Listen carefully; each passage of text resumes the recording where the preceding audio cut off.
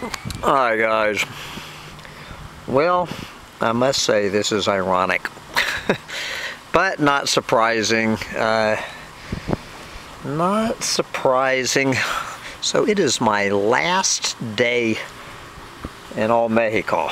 It is this, what could be considered to be a spectacularly gorgeous, although there are a few clouds moving in now. It is a Sunday, it is Sunday, February 12th, 2023. So uh, I am enjoying my last day along, uh, I guess this is actually um, along the shore of Laguna Azul, Blue Lake. I've been thinking I've been at uh, Bacalar Lake, but I learned last night this is actually a separate lake Laguna Azul, Blue Lake. And I think we all can figure out the reason for that, although with these gray clouds blowing in, uh, not quite as blue as it was a few minutes ago, but the operative word in that last sentence was blowing in. And so here I am freezing on the banks of Laguna Azul in Xul-Ha, Mexico. So I, I was actually wearing long pants and a long sleeve shirt this morning. Fortunately, I left on the long pants, but when I left the hotel, I made the blunder of taking off my long sleeve shirt and putting on a very lightweight short sleeve shirt after being in Mexico for 16 days and knowing that uh, it was soon going to be sweltering and uh, that there was no way I was going to need a long sleeve shirt uh, 10 miles north of Belize in the southernmost extreme southeast corner of Mexico. Uh, so I left the long sleeve shirt at home instead of putting it in my bag. And here I sit and I'm literally gonna just have to fold things up here. and it's a long way back. I'm about a kilometer uh, from my hotel room. I'm literally going to have to pack my bags because of this cold north wind. And when I say north wind, I mean I, I am on the very, very southern point and this wind is coming straight from the north right across this lake. Fortunately, I was I was bitching about these this curtain of branches blocking my view of the lake but uh, without these branches here I would be getting blown over. I mean there is nobody out there. I see I don't see one kayak out there today. I sure as hell don't see anybody swimming. Uh, you can't see it. I'm looking at that four story diving platform there is nobody swimming there is nobody diving I do not see one single hottie in a bikini lying out uh, sunbathing in any direction. I, uh, we do not have one single beautiful young woman uh, sunbathing today.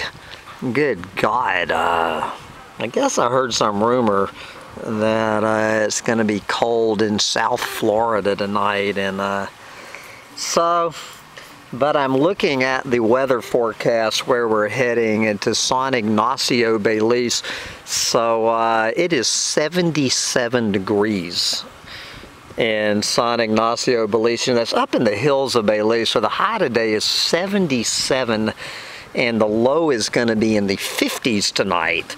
So this is just what you know I spent years in both you know in Costa Rica a lot of travel in Guatemala so I've always thought that whenever you wanted to cool off in Central America uh, and the same is true for Peru and Ecuador for that matter. You just, you know, you just go up in the hills.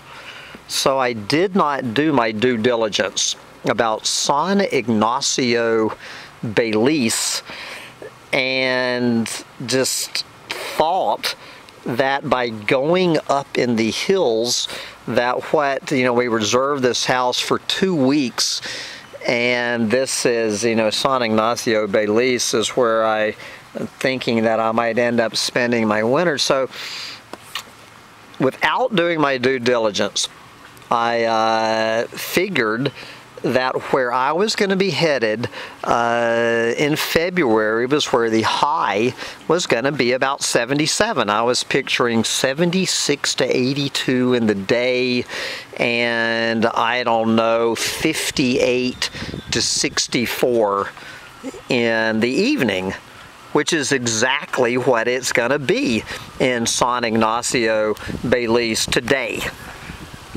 which apparently is the coldest day they've had in San Ignacio Belize in uh, maybe five years. So we're going to go spend uh, two days and nights. We're going to go check out Caye Caulker. Uh, you probably heard of that, which is, you know, uh, an island, you know, off the coast of Belize. So it's going to be pretty warm there. So we arrive in uh, San Ignacio, I guess it's Wednesday afternoon, we're going to pull in and I'm looking at the weather forecast. It's going to be 93, 93 when we arrive in San Ignacio and it is going to be 95 degrees on Thursday on our first real day. Uh, so I am sitting here on Sunday freezing in uh, Xul-Ha, Mexico, wishing the hell I had my long sleeve shirt. I'm about ready to go put some goddamn socks on my feet when I, I get back. And then, uh, but don't worry, I will be dreaming of this day.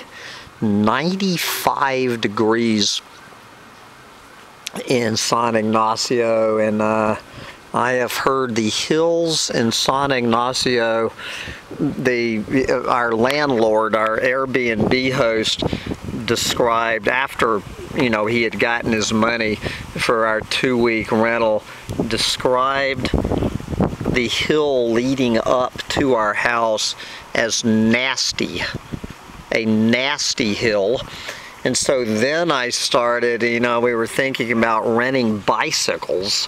You know, we're going to be there for two weeks, so I go on about renting bicycles in San Ignacio Belize, and quickly uh, my internet search turned up the fact that you're, nobody rides bicycles in San Ignacio Belize because of the wicked hills so we have wicked, nasty hills in the 95 degree heat and wondering why nobody uh, rides bicycles in San Ignacio Belize, although uh, there are plenty of places to rent scooters.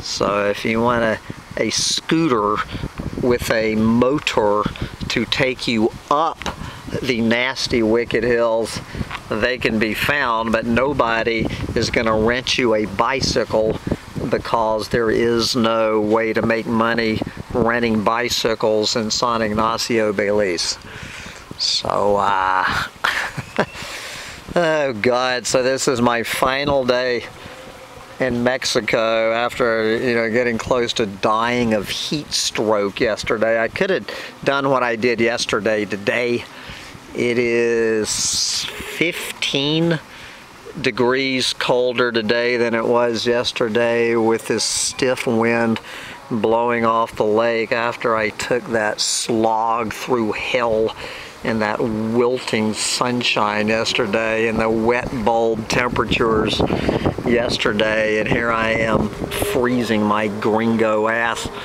a day later good fucking God. It, you know, this doesn't end. Uh, So I guess I will head back to my head back to my room and join my buddy who uh, to his credit he actually did take a walk this morning. He actually walked down to the lake and promptly turned right around and went back to the hotel to uh, go shut the door and lay in his bed in a closed hotel room surfing the internet while I sit out here in paradise freezing my ass. I'm reading this book, uh, Braiding Sweetgrass by Robin Wall Kimmer or Kimmerer. Uh, I don't know. At some point, the old Doomer will do a review, a Doomer reviews braiding sweetgrass. Braiding sweetgrass is probably the single most vomit-inducing uh, just just a complete descent into breeding the joys of being a breeder into the myth of the noble savage and just an absolute descent into bliss ninnydom. It is you, you take everything that makes a doomer want to vomit and you can find it uh, in braiding sweetgrass, indigenous wisdom, scientific knowledge, and the teachings of plants. But I will have to come back. I haven't, I don't know, whether, I think I might do two reviews of this book, one on Collapse Chronicles and another one on Humpty Dumpty Tribe. But first, I, I'm about a third of the way through it and assuming I can get to the end of this very well written, this very well written uh, descent into uh, just absolute beyond apocalyptimistic hopium. Another rant for another day. Right now I got to pack up my shed off this frozen wasteland and head back to the hotel and wrap up in a long sleeve shirt. My guys.